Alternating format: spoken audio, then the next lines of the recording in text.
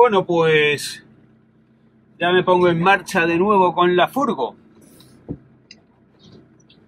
Porque ahora me voy al circuito de 4x4 de Nocaña para plantear cuáles van a ser las pruebas del primer curso de iniciación a Maxi Trail del Silver Reader Motoclub, que es el motoclub de mis lectores, de los lectores de mis libros. Solamente pueden ser socios los lectores de mis libros y ya tenemos casi 460 socios en muy poco tiempo y desde luego el, eh, el asunto del curso de iniciación a Maxi Trail ha generado muchísimo interés. Están llenos, voy a hacer cuatro cursos, ya los tres primeros están llenos y, y como condición estoy poniendo que los socios tienen que tener todos mis libros, ¿no? la biblioteca completa, porque al fin y al cabo es, eh,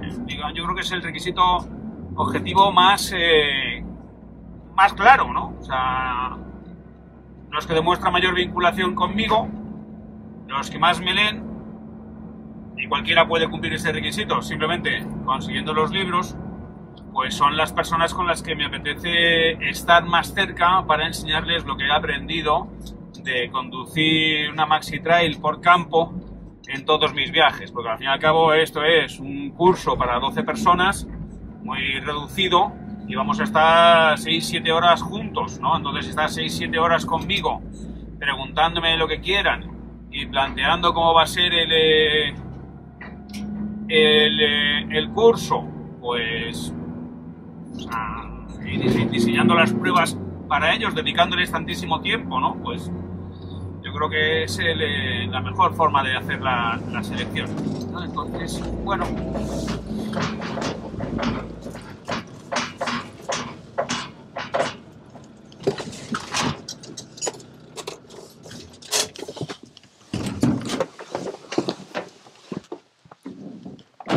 Pues ya hemos llegado al circuito de Ocaña. Aquí es donde vamos a realizar el curso de iniciación a Maxi Trail del Silver Reader Motoclub. Pero no lo voy a hacer en la furgoneta, evidentemente. Habrá que bajar lo que hay dentro para ponernos a evolucionar por aquí.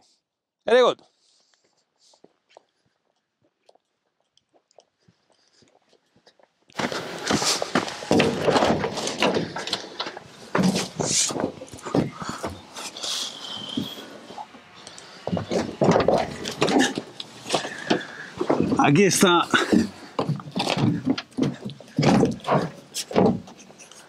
La gordita, bien segura ella.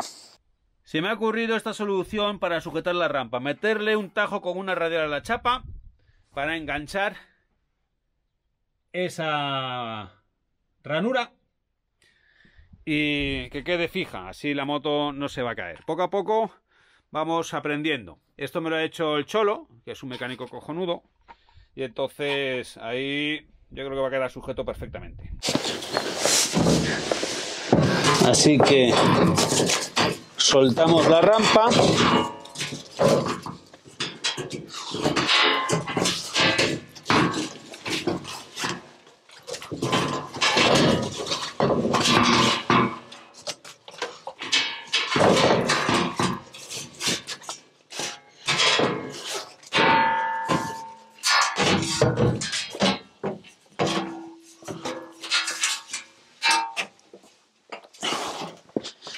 Y entonces la enganchamos aquí y ya esto no se mueve. Venga, pues vamos a, a soltar la moto.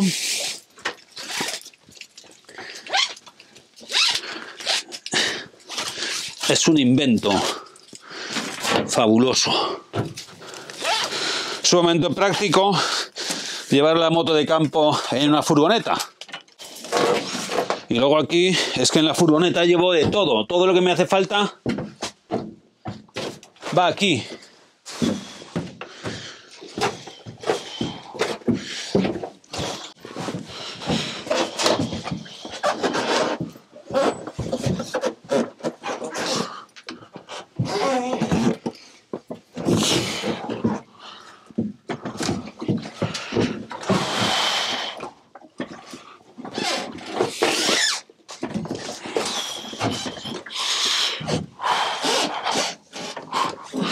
y luego la moto se va frenando con el embrague y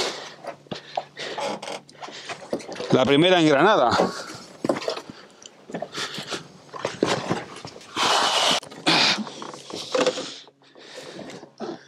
Perfecto. Nada, sí, ya no se mueve, está perfectamente sujeta la rampa. De coña. Así muy bien. De las mejores cosas que tiene la moto ahora para subir a una furgo son los retrovisores abatibles de Wunderlich. Esto es fantástico porque claro, tú antes de subir la moto los bajas y así ya no te molestan. ¿no? Entonces la moto como está bajita pues no, no tiene problemas, ¿no? Pero bueno, le falta una cosa a la moto y es la pegatina del Silver Reader Motoclub.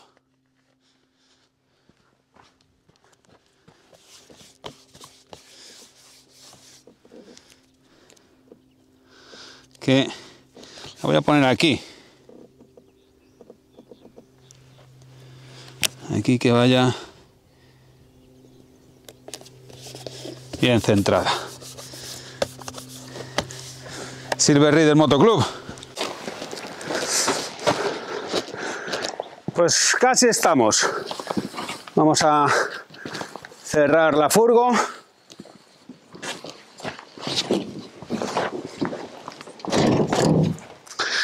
Y entonces, lo más importante cuando vamos a hacer un curso de estas características es venir bien protegido, porque si nos caemos, eh, cuanto más protegidos estemos, pues mejor será para nuestra anatomía. Hay que tener en cuenta que siempre que se circula por campo es mucho más fácil caerse que en asfalto. ¿Por qué? Porque en el campo la superficie es irregular, hay subidas, hay bajadas que normalmente no existen en el asfalto y después porque en el, campo lo que prima es la inercia y no la tracción. Esto hay que tenerlo siempre muy en cuenta, porque nuestro primer mandamiento cuando circulamos con una Maxi Trail por campo es no caernos. Y si nos caemos, que se rompa la moto, pero no nosotros. Hay que, es importante no caerse y ser sobre todo muy prudente, porque cuando se cae un bicho de estos, como pesa tanto, primero es muy fácil que se rompan piezas y valen una pasta. A veces la moto ni siquiera la tenemos pagada. Y después, si se nos cae encima o nos enganchamos con ella, y rodamos, pues es muy probable que nos hagamos mucho daño. Por lo tanto, fundamental, casco, esto siempre. Yo en este caso llevo un casco abierto para poder hablar a la cámara y que me entendáis, y es el casco que llevaré cuando ejerza de instructor para que los alumnos me vean claramente las expresiones y me entiendan con toda facilidad, pero si no, es conveniente el casco llevarlo cerrado, integral. Después, ¿qué es importante? Llevar una chaqueta Preferiblemente una chaqueta de cordura, una chaqueta de cordura que tenga ventilaciones, ¿eh? porque normalmente en campo circulamos más despacio. Cuando circulamos más despacio, si hace un día como hoy, hace calor, vamos a asfixiarnos, a sentir mucho calor. Es necesario que vaya protegida, que, sea, mm, que tenga protecciones homologadas, pero entonces lo que sería conveniente es que poderla abrir, como esta chaqueta con la que yo me he dado la vuelta al mundo y que todavía funciona, ¿eh? hace más de 10 años, pero ahí la veis, ¿eh? con miles de kilómetros encima, y por aquí entraría el vientecito, nos refrigeraría un poco, ¿no? Después es necesario llevar pantalones también con protecciones. En este caso llevo unos pantalones de jeans de BMW, porque bueno, me siento más cómodo para andar, porque ahora me voy a ir luego al restaurante o lo que sea, entonces bueno, mejor que ir disfrazado completamente de, de J. Joe, de aventurero, pues unos pantalones que estos llevan el jean con Kevlar y por tanto protege mucho de las abrasiones, ¿no? del denim, ¿no? y después lleva protecciones homologadas. Y después hay que llevar unas botas. Yo me habéis visto muchísimas veces en los vídeos cómo llevo botas eh, para andar. Llevo botas de explorador, de, de montañero, porque yo me bajo mucho de la moto y voy a muchos sitios, pero si tengo que dar una recomendación teórica sobre cuál sería la bota adecuada para hacer campo, sería una bota de moto, una bota que sea lo más alta posible y que nos proteja el tobillo.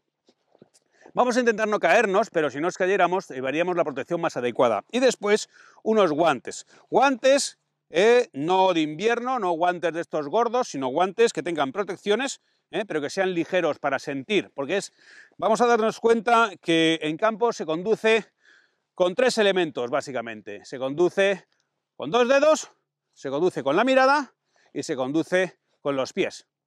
Y después todo lo demás no es más que peso, lastre, que vamos a mover de un sitio a otro para dirigir la moto. Pero la moto va donde nosotros miremos. Esto es muy importante que lo tengamos eh, claro.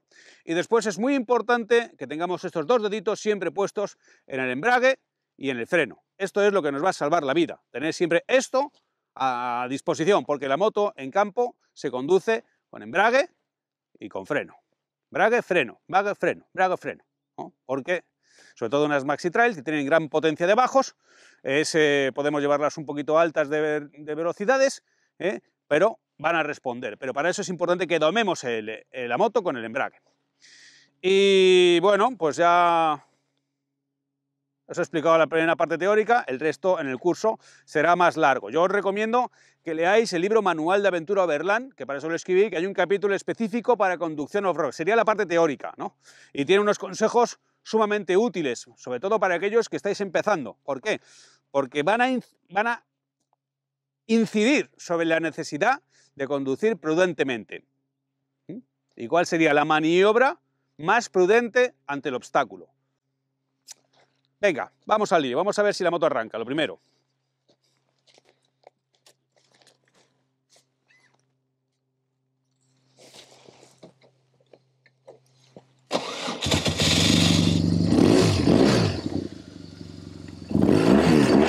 Es una máquina.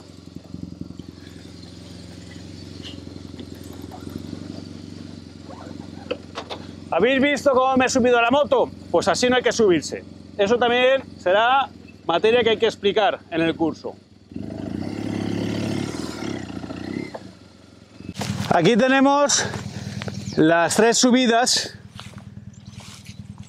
que se podrían hacer una que es bastante más difícil, otra bastante complicada y otra más sencilla. Tres subidas, tres bajadas. Esto es lo que se hace en el curso 4x4. Con coche no, es, eh, no parece demasiado difícil, ¿eh? pero con moto es otra cosa, ¿no?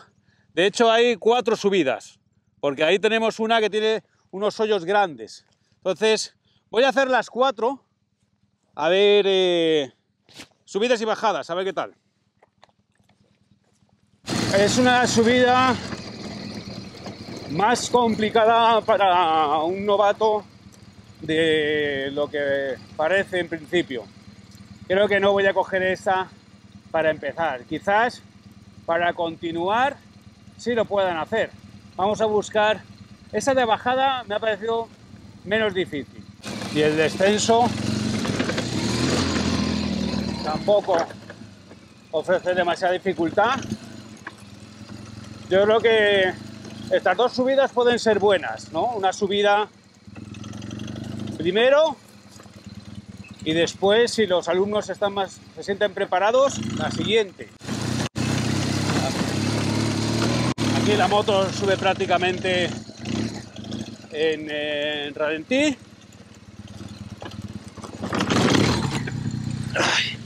Esto es lo que pasa cuando te distraes lo más mínimo.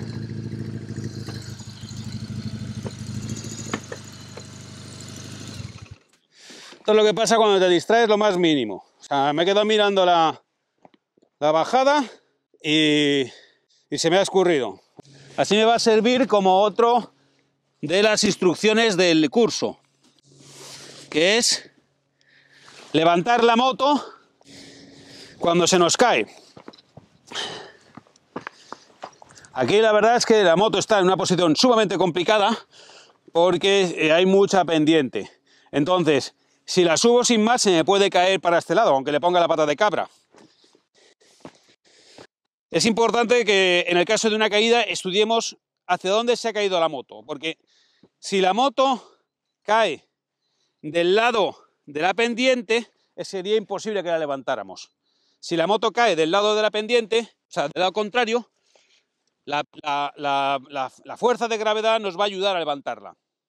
Así, si, si hubiera caído del otro lado, tendría que girarla sobre sí misma, jodiendo la taba balancín, se rayaría, pero bueno, si no quieres rayarla, no hagas un curso. Y desde luego no te metas por campo. Entonces, en mi caso se ve cómo las defensas han funcionado bien. Entonces, subir una moto que se nos cae, mi técnica es de espaldas, para hacer toda la fuerza que podamos con las piernas. ¿Como veis? La moto se levanta bien. Y ahora lo tendría muy complicado para subirme por este lado. Por lo tanto, es, es, importante que la moto no se me cae. Pero, ¿habéis? Como por ejemplo una Maxi Trail de 200 kilos, si la tenemos bien estabilizada, está en equilibrio, se sujeta prácticamente con un dedo.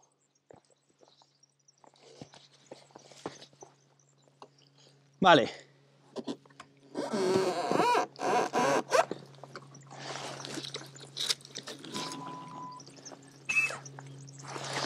Posición de escapatoria. Nosotros ahora mismo aquí tenemos muy difícil subirnos encima de la moto porque no haríamos pies de este lado. Con lo cual lo que hay que hacer es sacar la moto de aquí. Entonces, hay que estudiar el terreno para donde la moto saldría mejor. Entonces, si nosotros ponemos, la ponemos en marcha, nos ponemos pegados a la moto y entonces la aguantamos y vamos subiendo hasta que escapemos de esta trampa.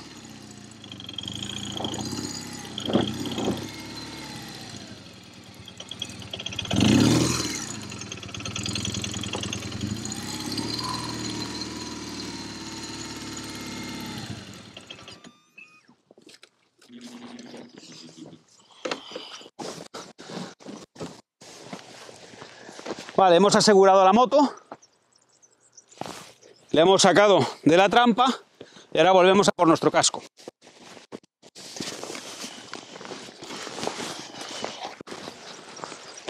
Esto está bien. Vale.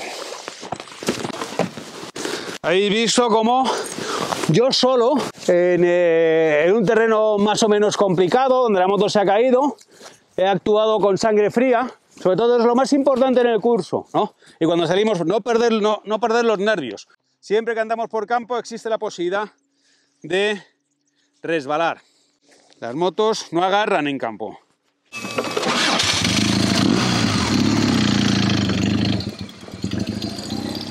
Ahora bajamos por aquí.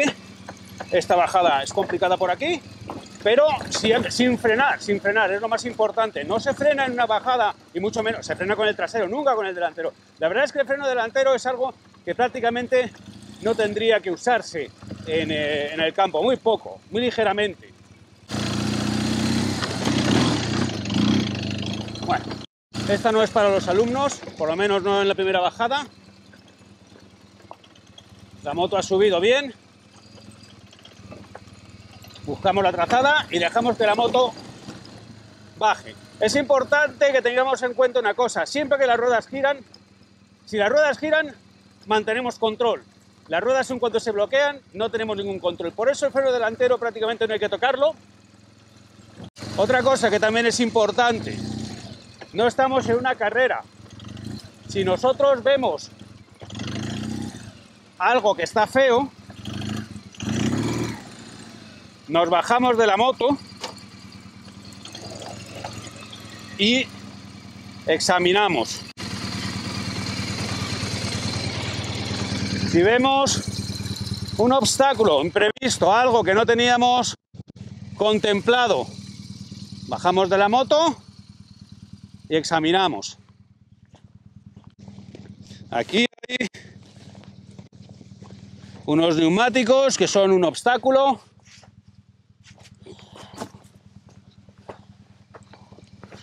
Por aquí no recomendaría subir ni de coña.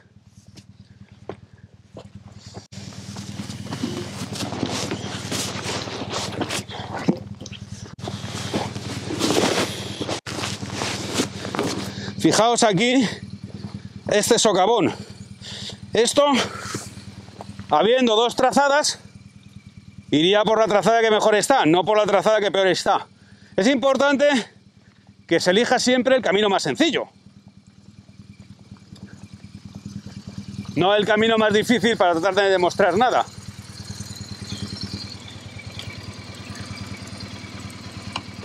Y si no estamos bien embocados, damos la vuelta y embocamos.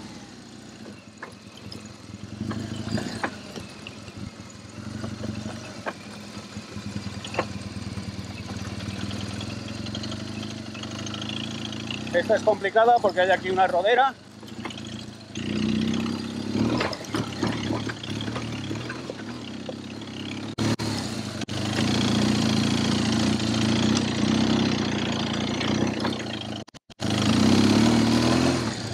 Vale.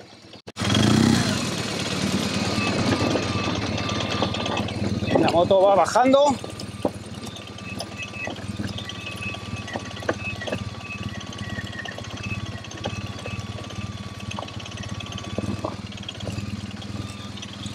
Bajamos, controlamos y abajo.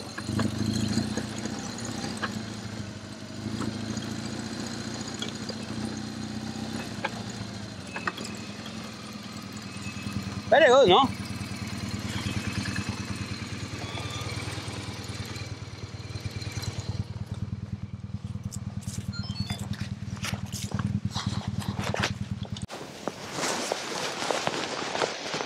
Creo que ha sido interesante venir al circuito antes de realizar el curso porque así he podido ver las zonas que son más fáciles, más difíciles y qué es lo que se podría considerar como un curso de iniciación, ¿no? porque hay subidas y bajadas mucho más complicadas, pero yo creo que estas van a tener la suficiente dificultad como para que los asistentes, los socios, pues puedan eh, ver cómo reaccionan.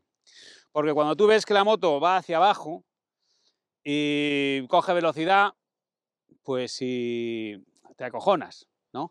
Y cuando la moto ves que sube para arriba y no estás seguro de que vaya a pararse donde tú quieres, porque claro, si subes muy deprisa se ve que hay un cortado al otro lado, pues eh, también acojona. Y entonces, ¿qué ocurre? Si paras, te caes. Cuando se dice que ante la duda gas, no quiere decir que, ante, que te metas aquí zumbando, ¿no? Sino que en el momento en el que tú estás en una subida y dudas, no. Ante la duda, gas. Porque si dudas es porque ya ibas con miedo. Entonces, la moto no tendrá inercia para acabar la. para coronar. Porque para coronar una cuesta es necesario llevar cierta velocidad. Estas motos tienen eh, potencia, son como tractores, esa es una de las ventajas que tienen con respecto a las motos de enduro, pero no pueden hacerlo todo. Tú tienes que ayudar a la moto a que llegue a donde quieres llegar. Pero bueno, yo creo que estas subidas y bajadas son interesantes. Hay algo que voy a recomendar y es que traigan repelente. Hay eh, muchos insectos por aquí y la verdad es que dan un poco el coñazo. Y si nos hace un día como hoy va a ser espectacular. Y después terminaremos el curso teórico con un pequeño recorrido por estas pistas, sencillito, simplemente de paseo, para sentir la sensación, ¿no? para estar sobre el terreno, para sentir las piedras, para sentir cómo la moto va traqueteando y cómo reacciona de un modo completamente distinto por carretera.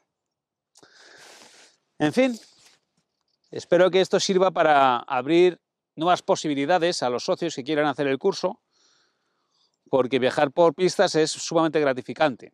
Pero esto es lo más importante, estamos viajando.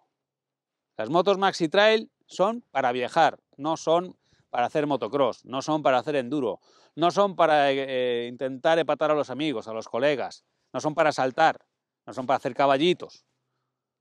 Las motos Maxi Trail son para viajar y lo que vamos a intentar es aprender cómo viajar por pistas. Así que nada, vamos a hacer ese pequeño recorrido por las pistas de por aquí y misión cumplida. Very good, my friend.